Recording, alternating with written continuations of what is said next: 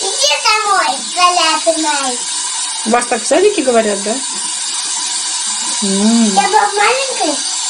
Нет, в моем садике сказали, что я Заляпина, уходите домой, пожалуйста.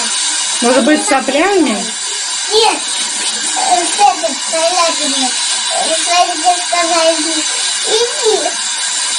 к мамочке домой, своей любимой. Ужас какой, а? Ужас. Ну, это.